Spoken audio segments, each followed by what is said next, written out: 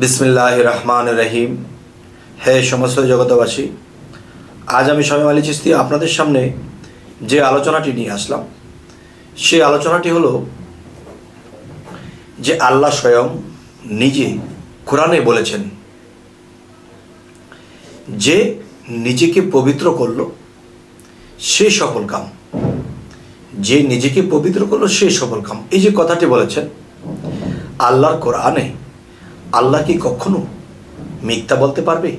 নওয়াজবিল্লা এখন আল্লাহ স্বয়ং যদি কথা বলে থাকে যে আমি মানুষের মৃত্যু ও জীবন সৃষ্টি করিয়াছি পরীক্ষা করার জন্য, আবার যদি আল্লাহ একথা বলে থাকেন যে আমি সেই মানুষকে পরিচালনা করি যে নিজেকে পবিত্র করল। এখন শরীয়তের দৃষ্টিতে যদি যাই, তারা কিন্তু সবসময় নিজেকে পবিত্র করছে। কিন্তু সেই পবিত্রটি হচ্ছে সকালে ফজরের টাইম থেকে শুরু করে এশার নামাজ পর্যন্ত তারা পানি দিয়ে ধুতো করে নিজেকে পবিত্র করছে। এই পবিত্র করলে আল্লাহ তাকে পরিচালনা করবে? নাকি কোন পবিত্র করলে?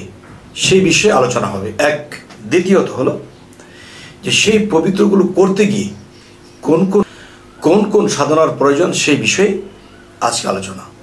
দেখেন, এই মানব দেহটা পাঁচটা পদার্থের সৃষ্টি। পাঁচটা পদার্থ কি কি? আব, আতস খাক বা নূর। এই পাঁচটি পদার্থে মানুষের দেহটা সৃষ্টি।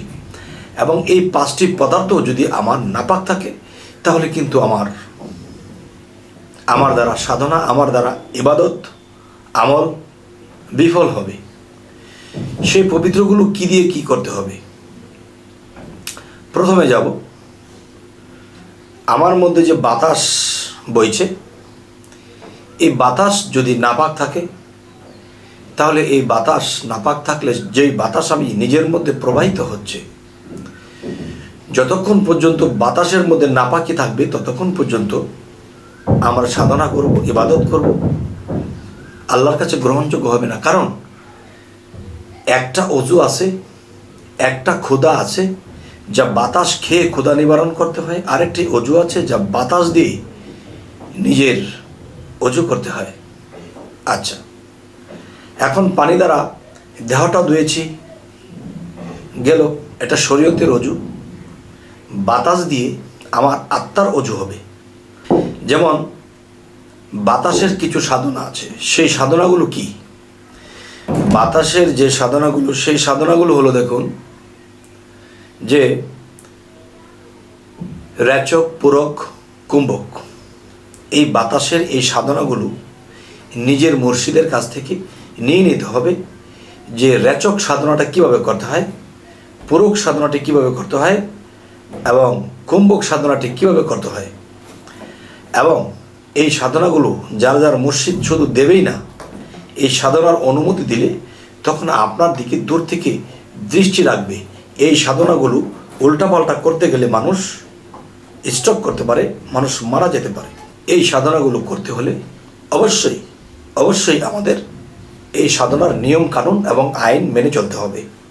আচ্ছা যেমন আমার মাটি পবিত্র করা, বাতাস পবিত্র করা এবং আগুন আছে মানুষের মধ্যে, সেই আগুনকে পবিত্র করা। আগুন পানি বাতাস, মাটি, আলো। তো এই জিনিসগুলো পবিত্র করতে হবে। এই জিনিসগুলো পবিত্র করতে গিয়ে একজন মুর্শিদ ধরতে হয় এবং সেই মুর্শিদ আমাকে এগুলো পবিত্র করার যে কৌশল আমাকে দিয়ে দেবে। দেখেন, ইউটিউবের মধ্যে যদি আমি কথাগুলো বলে দিই, তাহলে আমার অন্যায় হতে পারে। কেননা, যে বিষয়গুলো গোপন তথ্য, আর সেই গোপন তথ্য জানার জন্যই গুরুর প্রেমে মত্ত হতে হয়। আর সেখান থেকে এই সাধনাগুলো নিয়ে নিতে হয়। তবেই সেই ব্যক্তিটি হবে একদিন জয়। আচ্ছা তো এবার আসি। যে একজন মানুষ যখন সেই সাধনাগুলো করবে, সে সাধনাগুলো করলে সে নিজেকে দিন দিন পবিত্র হতে থাকবে। আর সে পবিত্র হলে তার লক্ষণ কি? তার জবান ঠিক হবে, মুখে কিছু বললে হবে, দৃষ্টিশক্তি কোনো দিকে চেয়ে কিছু বললে হবে।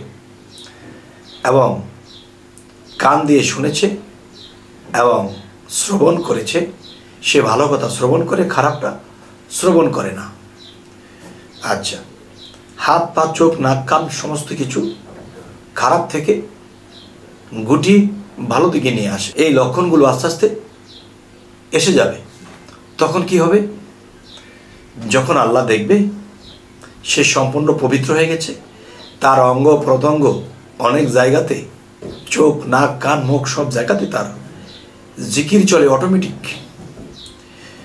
আর জিকির চলার কারণ হলো, যে নিজেকে পবিত্র করল, তখন তার মধ্যে দুনিয়ার কাম বাসনা, দুনিয়ার লোভ লালসা কোনো কিছু থাকে না। তখন কি হয়? তখন তার এখানে জিকির চলতে থাকে। যখন পবিত্র হয়, তখন আল্লাহ তালা তার মধ্যে বিলীন হন। তখন যাকে যা বলে দেয় তা হয়ে যায়। যাকে যা বলে দেয় তা হয়ে যায়। এবং মানুষ দিন দিন তার কাছে আসতে থাকে, তার থেকে পরামর্শ নেয়, তার থেকে আমল নেয়, তার কাছে বায়াত গ্রহণ করে। তাই আমি বলব, হে সমস্ত জগতবাসী যে আজকের আলোচনাটি কি? যে কোন ধরনের ব্যক্তিকে আল্লাহ কোরআনে বলেছে, কোন ধরনের ব্যক্তিকে আমি আল্লাহ পরিচালনা করব, আর যাকে আল্লাহ পরিচালনা করে, তার কি দোদকের ভয় আছে? নেই। আচ্ছা তো এবার আসব। যে নিজেকে পবিত্র করল, সেই সফল কাম এই জন্যই আল্লাহ বলেছে যে নিজেকে পবিত্র করল, সেই সফল কাম এই জন্যই বলা হয়েছে যে আল্লাহ মহাপবিত্র, আর সেই মানুষটি নিজেকে ক্ষুদ্র পবিত্র করেছে। তাই মহা আলোকিত বা মহাপবিত্র সেই ক্ষুদ্র আলোতে এসে বিদ্যমান হয়, বিলীন হয়। তখন এই বান্দা বন্ধুতে পরিণত হয়। আর বন্ধুর মুখে আল্লাহ স্বয়ং কথা কয়। যখনই যেখানে যা লাগে তাই বলে দেয়, তাই ফলে যায়। তবে হে সমস্ত জগতবাসী আজকের এই আলোচনাগুলো আপনাদের কাছে করা হলো। অবশ্যই কি এ ধরনের কথা কারও জীবনে দরকার আছে? যার দরকার আছে সে এই কথাগুলো অবশ্যই শ্রবণ করছে। আর যে এগুলো বোঝে না এই সম্বন্ধে, তা এর চেয়ে দামি হলেও তিনি বুঝবে না, এই কথাগুলো নেবে না। তবে অনেক মানুষ একটা কথা বলে থাকে, চাই না দুদক, চাই না ভেস্ত চাই মাওলা তোমার হুব্বে দিদার। আবার বলে থাকে, আত্মার মুক্তি চাই এই জগতে, জন্ম নিয়ে আসা আবার জন্ম, মৃত্যু হয়ে যাওয়া কত কষ্ট, এই জন্ম, মৃত্যু থেকে আমরা রেহাই চাই। দেখেন, বেহেস্ত দুযোগ কোনো কিছুই দরকার নেই এবং মুক্তির দরকার নেই।